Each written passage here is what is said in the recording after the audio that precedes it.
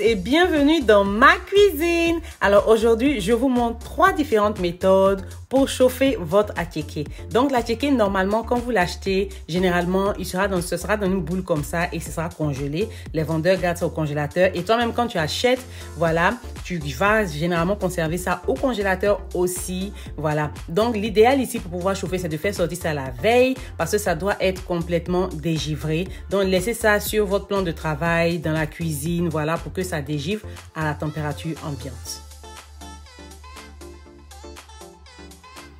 Alors, pour la première méthode, c'est le micro-ondes. Donc, on met la boule d'attiqué dégivrée dans le micro-ondes. On met sur 5 minutes jusqu'à ce que ça soit chaud. On enlève, on renverse ça dans un bol et on utilise une fourchette pour mélanger le tout. Maintenant, je comprends très bien que c'est pas trop pratique de chauffer la ticket dans le sachet comme ça parce que le sachet peut être toxique et tout. Je comprends ça. Malheureusement, souvent, on n'a pas le temps. En tout cas, moi, personnellement, souvent, j'ai pas le temps. Je suis pressée au point où, oui, je mets ma boule comme ça. Mais si ça ne vous convient pas, voilà, cassez juste euh, la ticket avec votre main et renversez dans un bol que vous allez fermer et, et rajouter un peu d'eau et mettez ça dans le micro-ondes pour réchauffer à défaut de laisser ça dans le sachet. Il n'y a pas de souci, c'est super, mais sinon je suis très bien consciente que ça peut être toxique, si que c'est pas pratique. Voilà pourquoi je le fais pas à chaque fois. J'ai pas l'habitude de le faire, mais quand j'ai pas le choix, je le fais et je suis sûre qu'on est beaucoup parce que j'en connais beaucoup qui font ça. Mais c'est pas pratique, donc utilisez les deux autres méthodes si possible. Voilà. Alors, une fois que c'est sorti, vous utilisez une fourchette pour casser votre attiqué et voilà, c'est prêt.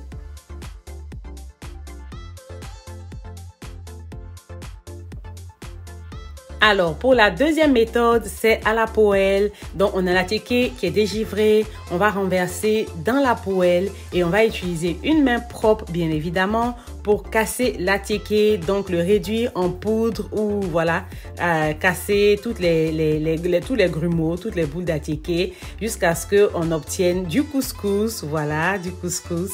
Et une fois qu'on a fini, on va rajouter un peu d'eau et on va mélanger le tout et laisser chauffer à feu doux. Le feu doit être carrément doux, complètement doux. Ne mettez pas à feu moyen ni à feu fort.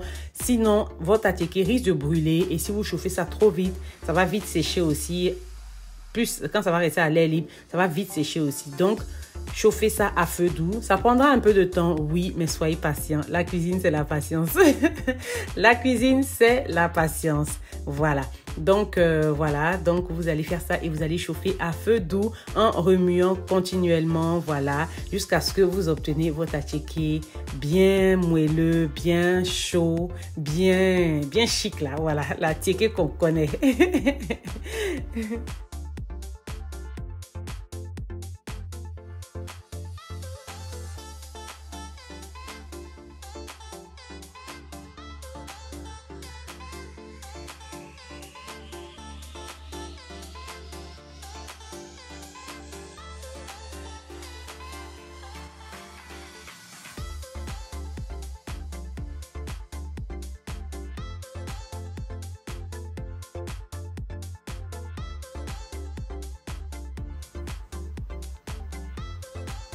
Alors ici, par exemple, à la poêle là, si vous voulez, vous pouvez rajouter un peu de sel, un peu d'huile, voilà, pour, voilà, pour assaisonner votre attiqué. Moi, personnellement, je n'aime pas rajouter l'huile et le sel à l'attiqué pour servir.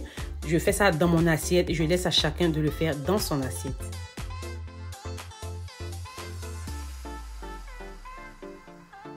Alors ici, on a la troisième et la meilleure méthode pour moi, voilà, c'est à la vapeur. Voilà, donc on va utiliser un couscoussier, voilà, ou une couscoussière, je sais pas, un ou une, voilà, et on va mettre de l'eau, laisser bouillir. Pendant que l'eau est en train de bouillir, ici dans un bol, on va commencer à casser notre attiqué pour réduire ça en couscous à la main propre bien évidemment. Et une fois qu'on a fini de réduire l'attiqué carrément en couscous on va renverser ça dans notre couscoussier quand l'eau sera en train de bouillir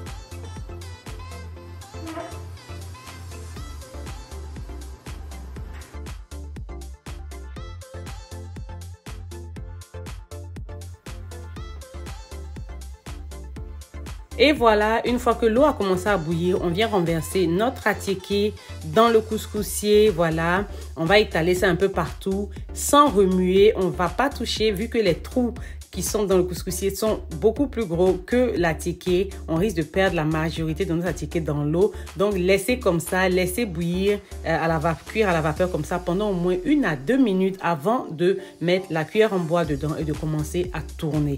Voilà. Donc, après une à deux minutes, voilà. Si vous voulez accélérer le processus, vous pouvez simplement fermer, voilà, et laisser une à deux minutes. Ça va, ça va être plus rapide ou moins d'une minute même, voilà, et remuer. Sinon, voilà, vous ne fermez pas, vous laissez comme ça, mais attendez au moins une à deux minutes avant de mettre la cuillère en bois dedans. Mélangez un peu, voilà. Après, vous laissez reposer encore et vous laissez une à deux minutes encore. Vous revenez encore remuer jusqu'à ce que tout la ticket soit bien solidifié, soit bien euh, euh, euh, moelleux, soit bien mouillé, soit bien humidifié, soit bien, voilà, jusqu'à ce que la ticket ait pris, jusqu'à ce que la ticket soit bien mouillée et bien rafraîchie. Voilà. Une fois que la ticket devient bien comme on aime là, voilà, c'est fini. C'est aussi simple que ça, c'est aussi rapide que ça. Et cette méthode est la meilleure méthode pour moi parce que c'est la meilleure, méthode qui est initialement utilisée pour la création de la ticket. C'est comme ça que la ticket est fait à la base. Donc voilà, quoi de mieux? Quoi de mieux? La méthode la plus proche, sinon la même méthode que la méthode originale pour la cuisson de la ticket. Voilà, et votre ticket durera plus, va, va plus durer en fait. Si vous n'avez pas mangé tout le même jour que vous gardez jusqu'au lendemain, ça va toujours rester bien frais là encore. Voilà, avec la méthode de la vapeur. Merci d'avoir regardé ma vidéo. La tieke, c'est un plat ivoirien, c'est du couscous de manioc. On mange ça avec tout. Avec tout. Viande, poisson, poulet, sauce, tout. On mange avec tout. N'oubliez pas de souscrire à ma chaîne si vous ne l'avez pas encore fait. N'oubliez pas de liker la vidéo, de partager, de commenter. Et on se dit à la prochaine pour une nouvelle vidéo. Bye